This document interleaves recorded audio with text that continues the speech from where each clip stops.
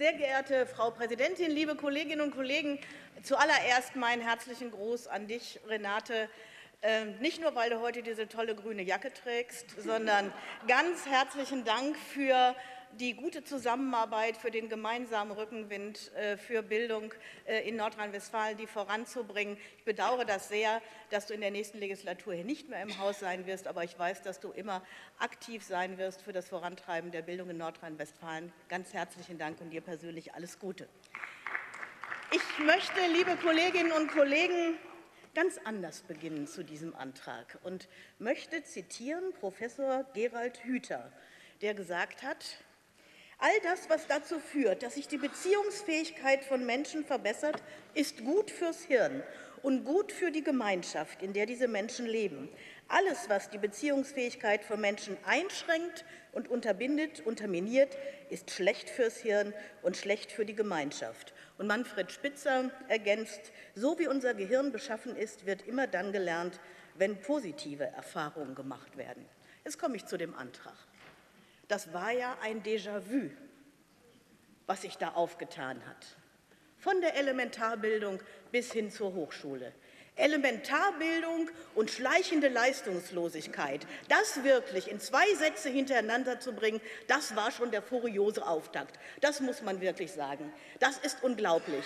Da wird deutlich, welcher Druck durch die FDP in fünf Jahren in das Bildungssystem hineingebracht worden ist. Durch frühere Einschulung, durch die Schulzeitverkürzung in der Sekundarstufe 1 in dem G8. Und all dann die Dinge, die ich mal zusammenfassen werde unter dem Begriff Little Shop of Horrors, die Sie hier noch mal aufgeführt haben. Ich will daran erinnern, 1000 Grundschulleitungen haben 2010 unterschrieben, dass sie diese Grundschulgutachten nicht mehr wollen, weil die Bildungswege für Kinder offen gehalten werden wollen, weil sie nicht frühzeitig über Kinder urteilen wollen. Das war eine große Bewegung. Und all diese engagierten Pädagoginnen werden nicht wieder zurück wollen zu diesem Modell, was Sie hier aufmachen. Dazu kommen wirklich die Unsinnigkeiten der Kopfnoten. Ich will doch mal daran erinnern, was hier passiert ist im Land. Es wurden Pauschalnoten vergeben. In Köln war es die 1, in Dortmund war es die 2.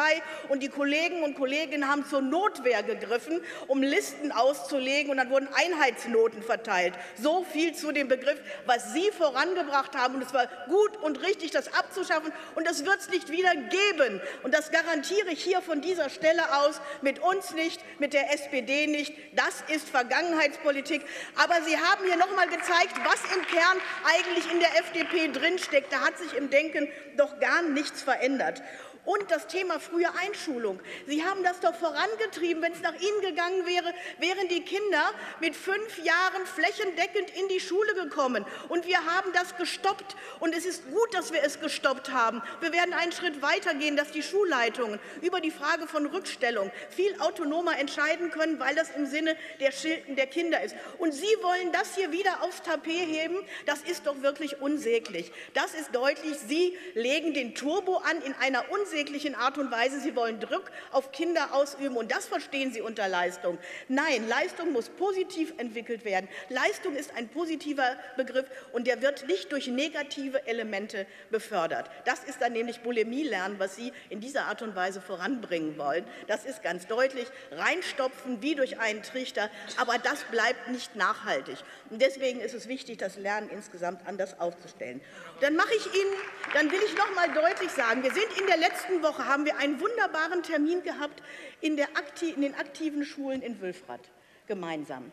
Das war ganz hervorragend, die gezeigt haben, wie mit individueller Förderung, mit offenen, und da nickt die Kollegin, das ist ja toll, mit offenen Angeboten und individuellen Lernzeiten, jahrgangsübergreifendem Unterricht, wie da Leistung entwickelt wird, wie wohl sich Schülerinnen und Lehrer in diesem System wohnen. Und dann diffamieren Sie das jahrgangsübergreifende Lernen in diesem Antrag im nächsten Zug. Wie unaufrichtig waren Sie denn in der letzten Woche, um das dann dort zu loben, dann reden Sie doch Klartext, dass Sie das eigentlich gar nicht wollen, lieber jahrgangsweise im Zug und im Gleichschritt. Das kann doch so nicht sein. Das ist wirklich, das ist scheinheilig, wenn man so agiert. Und dann will ich noch was sagen zu der Frage von Exzellenz und den Vorstellungen, die die FDP äh, so hat. 30 Gymnasien, das haben wir schon gehört, Exzellenzgymnasien sollen geschaffen werden.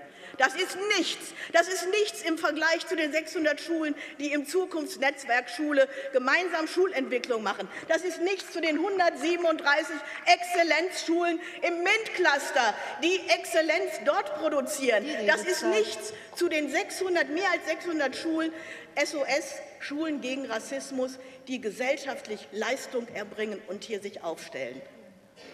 Frau Präsidentin? Die Redezeit. Die Redezeit. Ich dachte, schade, es wäre eine Zwischen Zwischenfrage. Nein, dann muss ich in der Tat hier äh, abbrechen. Ich kann leider nichts mehr dazu sagen, was Sie mit Delfin 4 und 5 angerichtet haben, wo Kinder verstummt sind. Verstummt sind. Und deswegen ist es gut, dass altersintegriert Sprachförderung betrieben wird. Und noch was, Campusmaut gibt es mit uns nicht. Dieser Antrag ist rückwärtsgewandt. Das ist Politik von gestern. Mit uns geht es weiter für ein modernes und gutes Bildungssystem mit großer Leistung. Vielen Dank, Frau Kollegin Beer, da wir so nett miteinander geplaudert haben.